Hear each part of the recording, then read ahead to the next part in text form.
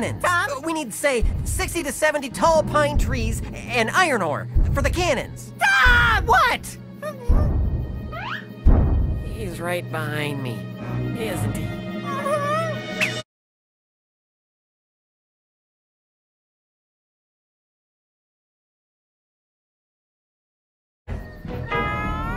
Do you know the way?